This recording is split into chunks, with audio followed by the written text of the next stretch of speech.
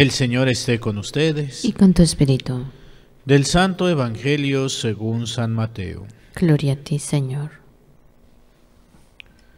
En aquel tiempo Jesús dijo a sus discípulos, Cuando venga el Hijo del Hombre rodeado de su gloria, acompañado de todos sus ángeles, se sentará en su trono de gloria.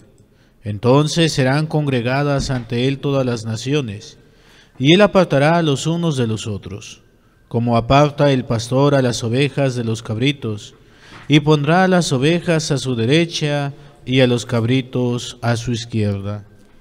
Entonces dirá el rey a los de su derecha, vengan benditos de mi Padre, tomen posesión del reino preparado para ustedes desde la creación del mundo, porque estuve hambriento y me dieron de comer, sediento y me dieron de beber, era forastero y me hospedaron, estuve desnudo y me vistieron, enfermo y me visitaron, encarcelado y fueron a verme.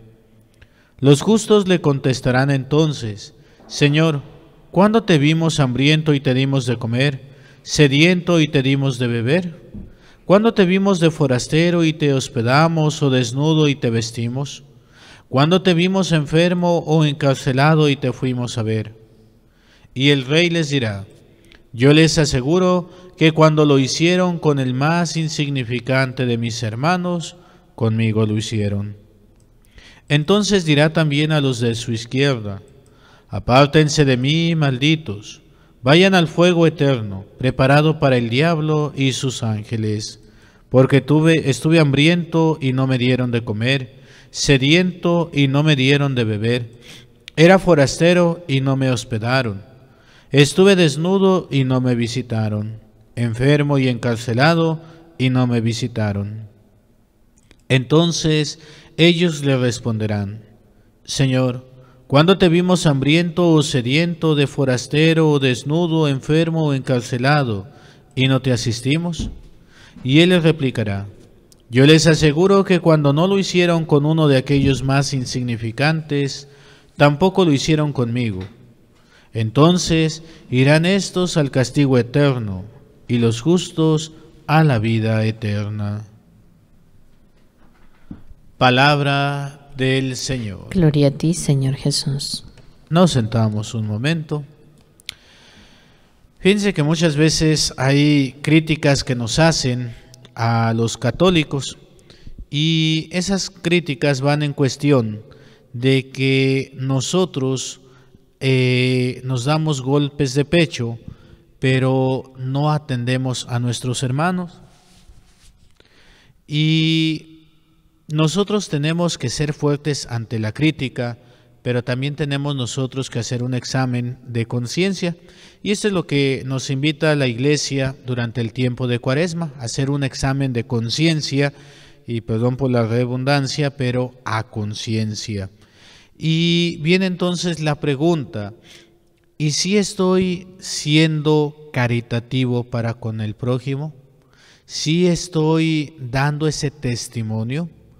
porque les digo que nos critican mucho porque vamos a misa, porque eh, rezamos el rosario, vamos a las horas santas, pero en relación con el prójimo no siempre damos testimonio.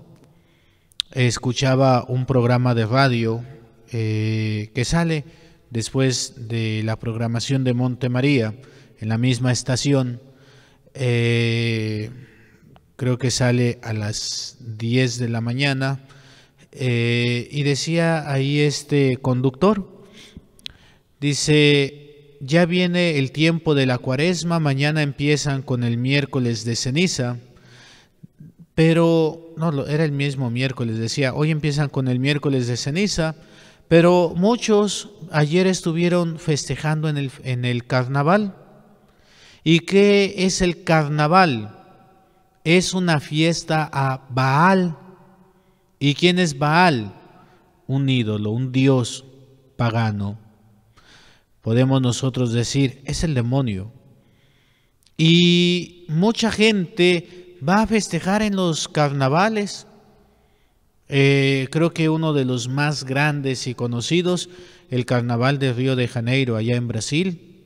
Pero en muchas ciudades también están los carnavales, aquí en Rosarito, en Ensenada, eh, que había mucha polémica ahí en Ensenada y no sé qué y no sé cuánto. Y sí, es un destramparse en la carne, destramparse eh, en darle vuelo a la hilacha, porque vienen días de penitencia. Y entonces no sirve de nada nuestra penitencia porque hay que aprovechar antes y después ponemos caritas de santos. No, pues así no se vale.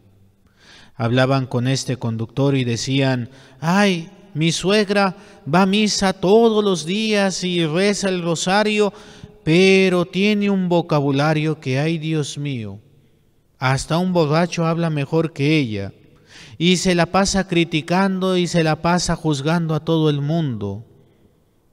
Y a mí nada más me daba risa, ¿verdad? Decía, pues es verdad. Esas críticas no puedo decir que sean mentiras, porque también a mí me ha tocado eh, conocer personas así. En una ocasión, una persona, señora, ¿verdad? De misa todos los días, bien tempranito pero llegaba a su casa después de la misa y ándenles bola de flojos, voy a creer, no han hecho nada, no se han parado, son unos quién sabe qué, unos quién sabe cuánto. Y, yo una vez sí le dije, le digo, ¿sabe qué? Mejor ya no vaya a misa. Quédese a dormir, media hora a lo mejor se levanta más de a buenas. Y es que no solamente es que tengo que cuidar mi relación con Dios, sino cómo está mi relación también con el prójimo. Ahorita escuchábamos en la primera lectura también, sean santos como vuestro Padre Santo. No odies ni en lo secreto, aprende a perdonar, corrige con amor. Pero nosotros no hacemos nada de eso. Les decía en una ocasión, que cuando tuve que hacer la tesis para eh, la teología, yo quería agarrar en cuanto al sacramento de la Eucaristía, sobre, todo la misa, ¿verdad? Pero como un, eh, ¿cómo decirlo?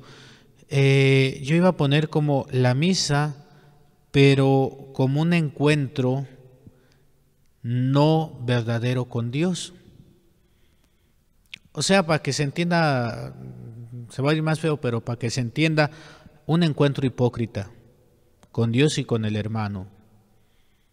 Ah, ah, ¿Cómo que es un encuentro hipócrita? Sí, porque muchas veces es lo que hacemos.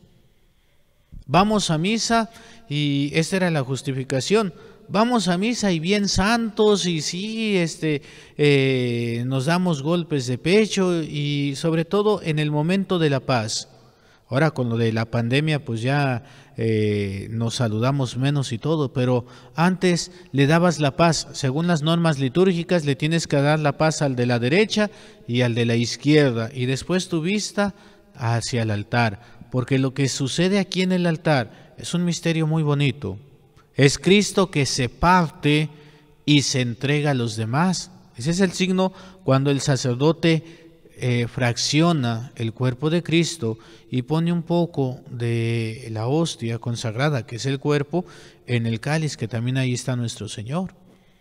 Cristo que se parte y se entrega a los demás. Y es algo que nos pide también a nosotros. Pero nadie pelaba este signo. ¿Por qué? Porque le dábamos la paz al de la derecha, al del siguiente, al de allá, el de la orilla, el de la otra banca, el de adelante, el de atrás, a la... y si estaba la abuelita por allá y quiere ver a la abuelita y... Y ay hermano, Dios te bendiga y hermano mío y no sé qué y no sé cuánto. Bien hijos de Dios todos. Todos bien hijos de Dios. Pero nomás se acaba la misa y vamos saliendo y a lo mejor eh, se estacionaron mal y, ay, desgraciado, pero así te va a ir, ¿por qué te pones si sabías que yo iba a salir? Ay, Señor, que ya me pegó, fíjese por dónde camina. ¿Que no éramos hermanos? ¿Que no, que Dios te bendiga y que no sé qué y que no sé cuánto? Ni siquiera hemos salido de la iglesia, no hemos salido del atrio y ya nos estamos peleando. Por eso es un encuentro hipócrita.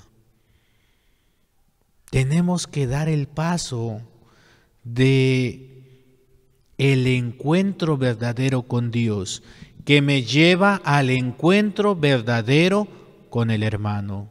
Si no estoy llevando un verdadero encuentro con el hermano, no estoy teniendo un verdadero encuentro con Dios. Por ahí les decía el otro día en misa, una misa dominical, a la gente, ¿verdad? El miércoles de ceniza más bien, le decía a la gente, ¿cuántas veces vamos a misa, pero de cuerpo presente? ¿Por qué? Porque nuestro cuerpo está en la iglesia, está en el templo, pero nuestra mente está ausente. Estamos pensando que, ay, es que está haciendo mucho frío, voy a, eh, voy a llegar y voy a calentar esto, voy a prender la chimenea o voy a poner el calentador para que se caliente. Ay, este, tengo que pasar a la tienda porque no hay leche, tengo que llevar la leche. Híjole, el pan, esto, ay, que no se me olvide. Sí. Algunos otros llegan a la misa y se empiezan a dormir. Ay, no, Padre, estoy meditando. No, Padre, estoy escuchando profundamente, pues demasiado profundo. Seamos honestos, nos estamos durmiendo, nos estamos distrayendo. Entonces, por ahí dice ese dicho, ¿verdad? Están en todo menos en misa. Si no tengo ese encuentro verdadero con Dios, ¿cómo voy a tener ese encuentro verdadero con mi hermano? Para cuando se acaba la misa hay diferentes eh, saludos de despedida. Pueden ir en paz, la misa ha terminado, eh, etcétera. A mí me gusta mucho y por eso siempre lo hago este, para poder tomar también conciencia a vivir lo que aquí hemos celebrado. Podemos ir en paz. Aquí vengo y celebro, me lleno del amor de Dios, me lleno de la gracia de Dios, para ir allá afuera y ponerlo en práctica. Allá es donde tengo que portarme bien, allá es donde tengo que llevar bendición. Porque al llevar yo bendición al otro, estoy atrayendo la bendición hacia mí. El Evangelio hoy muchas veces lo hemos escuchado y ya se nos hace muy normalito, pero el Evangelio del día de hoy es fuerte. El Señor que viene en esa parucía, en esa segunda venida, y que hoy nos hablan mucho de Jesús, de nuestro Señor como eh, en su misericordia, en su amor, eh, en, en esta eh, deseo de salvación que Él tiene por todos nosotros, y es verdad. Y le busca de una y otra manera. Pero hoy hemos malinterpretado también la misericordia de Dios. Hemos malinterpretado el amor de Dios. Porque la misericordia no es de que, ay, haz lo que se te pegue la gana, mira, al final vienes y yo te perdono de todo. No, la misericordia de Dios es la oportunidad que nos da para la conversión diaria, para buscar qué es lo que yo quiero. Porque Dios no me va a mandar a ningún lugar. Yo soy el que me va a mandar. Yo soy el que escojo a dónde quiero ir, al cielo o al infierno, a través de las obras que hago a través del amor que estoy dando, amar a Dios sobre todas las cosas y a mi prójimo como a mí mismo. Yo estoy convencido, por los estudios y todo, yo estoy convencido en lo personal que Dios nos va a hacer tres preguntas fundamentales. ¿Qué tanto amaste a Dios? Y en ese qué tanto amaste a Dios, qué tanto Dios fue el centro de mi vida. ¿Qué tanto le pregunté a Dios sobre mis planes, sobre mis sueños, sobre mis metas?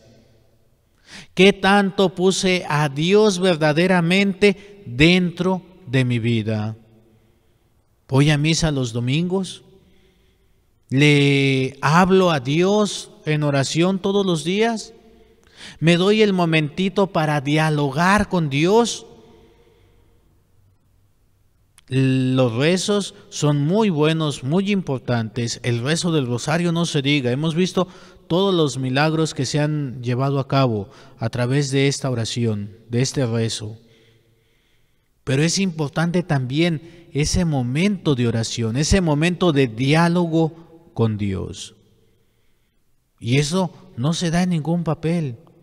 Eso es de corazón a corazón, del corazón tuyo al corazón de Dios. Y después hay que guardar silencio para escuchar la voz de Dios. ¿Estoy realmente buscando el agradar a mi Padre Dios? La segunda pregunta que nos va a hacer es, ¿qué tanto amaste a tu prójimo? ¿Qué tanto me ofrecí en este día por los demás, principalmente por los que Dios me ha encomendado? A veces viven en matrimonio, pero bien ausentes. El otro día les preguntaba a los matrimonios, a ver, sean sinceros, ¿cuándo fue la última vez que le dijeron a su pareja, te amo? ¿Cuándo fue la última vez que le dieron un beso, un abrazo? Pero de verdad, no el beso, ay, ya me voy y de costumbre. No, no, ese es un beso de costumbre, un beso de amor. Te lo doy porque quiero demostrarte que te amo. ¿Cuándo fue la última vez que le dijeron a sus hijos lo orgullosos que se sienten de ser sus papás? Ay, padre, pues si ya lo sabe, no, no des por hecho que lo sepa. Díceselo, muéstraselo, porque eso es importante. A veces estamos con que, ay, pues es que el amor se murió. No, el amor no se muere, tú lo matas, porque no sabes cuidarlo, porque no sabes avivar la llama del amor. Esos pequeños detallitos, esas pequeñas palabras, esos pequeños regalos, esos pequeños detalles son los que van avivando el amor. ¿Cuántas veces he corregido en el amor de Dios a mi hermano? No porque me caigo y le voy a gritar, no. En una corrección verdadera, fraterna. Y dice el Señor aquí, ¿verdad? Corrige a tu hermano para que el pecado de él no sea tuyo. Porque si yo estoy viendo a Fray Sergio que se está equivocando, que está cayendo en el pecado constantemente, mi obligación es ir a decirle, Fray Sergio, te estás equivocando.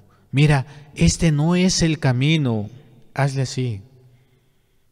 Porque si no, yo soy cómplice del pecado de Fray Sergio. Dice por ahí un dicho, no sé si sea muy mexicano, pero aquí lo decimos mucho. Tanto peca el que mata la vaca como el que le agarra la pata. Si yo soy testigo del pecado de mi hermano y no le digo nada, soy cómplice de su pecado. Hermanos, ¿qué tanto amamos al otro? ¿Qué tanto vemos por su bien? Hoy veo a los papás que no aman a sus hijos Dicen amarlos, pero no los aman. No lo saben corregir. No saben poner disciplina. No saben exigirle a sus hijos para que vayan creciendo, para que vayan madurando. Hoy les hacen todo y lo único que están creando son inútiles, que el día de mañana van a depender de otros porque ustedes no les están dando las herramientas para vivir la vida. Sí, son otros tiempos, pero algo que nunca cambia es la disciplina. A lo mejor cambia la manera. Creo que los que están viejitos como yo y más viejitos que yo, pues nos tocó todavía el tiempo de las nalgadas, de los chanclazos, de los cinturonazos o lo que encontrara nuestros papás. A lo mejor no era la manera. Es verdad que el diálogo, los correctivos, hermanos, creo que aprendimos. Hoy dicen que los niños quedan traumados. Pues sí, creo que nosotros estamos traumados. ¿Qué trauma nos dejaron nuestros papás? Valores morales. Antes hacía berrinche el escuincle y el papá te da, decía, o la mamá te daba una, levántate. Te daba dos, ya está, ya cálmate. A veces la tercera te sacaba la chancla o se quitaba el cinto. ¿Quieres chillar? Para que chille de a de veras. Hoy los papás son esclavos de los hijos. Lo que el hijo diga, el papá lo va a hacer. No los están llevando por buen camino. Hoy tenemos la delincuencia, la inseguridad, los cárteles, y cada vez están reclutando a más jovencitos. Hoy duele que sean adolescentes delincuentes. Y la pregunta es, ¿dónde están sus papás? ¿Qué hicieron sus papás por ellos? Ah, pero les damos toda la tecnología, les damos el celular.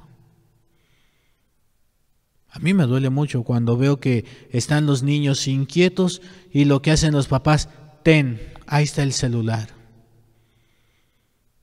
Ni siquiera saben lo que están viendo en el celular sus hijos, ni siquiera saben lo que están haciendo en el celular sus hijos.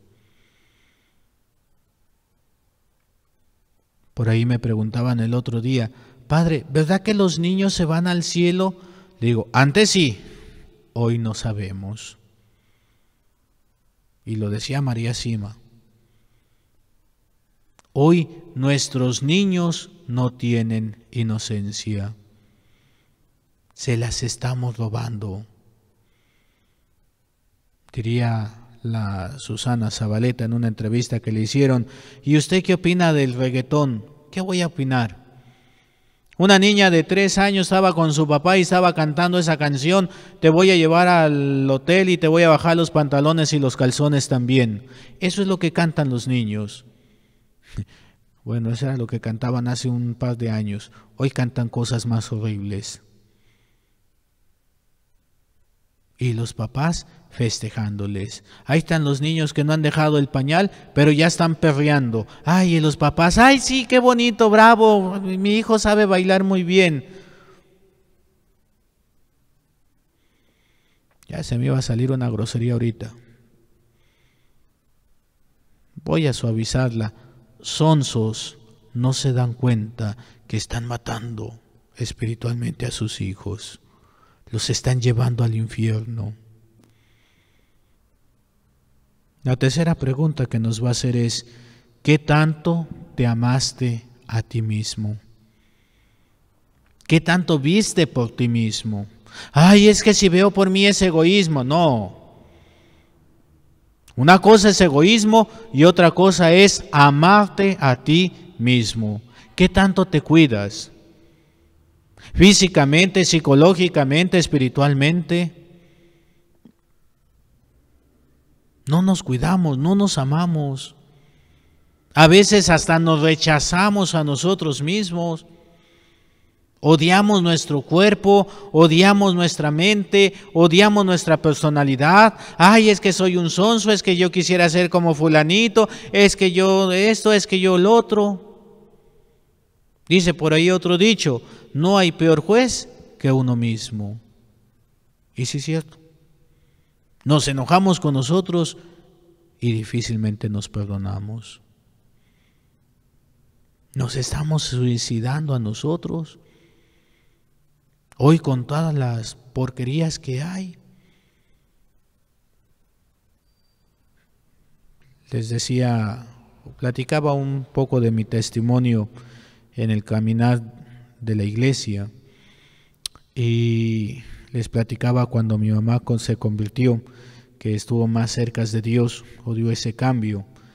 Y dentro de lo que les decía, les decía un día no teníamos dinero ni para comer, absolutamente nada, ni para tortillas. Fue por donde le pegó más el demonio a mi mamá en la prueba para hacerla alejar de Dios. Y llegó esa vez mi tío, nos invitó a comer, comimos muy bien, comimos taquitos de carnitas. Hoy todo mundo se toma litros y litros de soda. En aquel entonces una botella de 355 mililitros servía para compartir en familia. Ese día no compartimos, nos tomamos nuestra soda cada uno. Uy, en aquel entonces era, te tomaste mucha soda. Hoy no. Hoy los niños no dicen leche, dicen coca. Los diabéticos no dejan de tomar soda. Y les dices y se enojan, ay, una vez al año no hace daño. Sí, pero a ti te cambia el año cada hora. No nos amamos. ¿Qué tanta porquería estamos viendo en las redes sociales, en las películas, etcétera? Hermanos, es en el amor que Dios nos va a juzgar. Y el amor se muestra en pequeñas acciones. Vengan benditos de mi Padre, porque tuve hambre y me dieron de comer, tuve sed y me dieron de beber, estuve desnudo y me vistieron, fui peregrino y me hospedaron. Ay, Padre, pero no puedo meter a cualquiera a mi casa, sí, es verdad, pero ¿cómo puedo apoyar a tantas personas que están necesitadas? ¿Cómo puedo hacer esas pequeñas obras de caridad? Y no necesito ir tan lejos en mi propia casa. ¿Cómo voy a hacer esas obras de caridad para con mi familia? En vez de gritar, voy a dialogar. No digo que no me voy a enojar, porque muchas veces eso es independiente de nosotros, pero ¿cómo voy a manejar el enojo con los demás? ¿Cómo voy a reaccionar? ¿Cómo voy a corregir? ¿Cómo voy a poder ayudar a caminar al otro en los caminos de Dios, en los caminos de valores cristianos? Hermanos, por ahí tenemos que empezar. A veces queremos cambiar el mundo. No, empieza por cambiar tu vida, empieza por cambiar tu casa. Había un señor que me decía, ay, es que quiero ir a esto, quiero ir allá, quiero evangelizar aquí, quiero evangelizar allá. Y yo le decía, no, empiece por su familia. Ah, es que dice la palabra de Dios que si no te escuchan, sacudas los pies y vete a otra ciudad. Digo, sí, pero el Señor nunca va a dejar a tu familia. Ahí es donde tienes que trabajar. Y es más difícil, es más complicado, porque saben de qué pata cojeamos. Dicen conocernos y decimos conocerlos.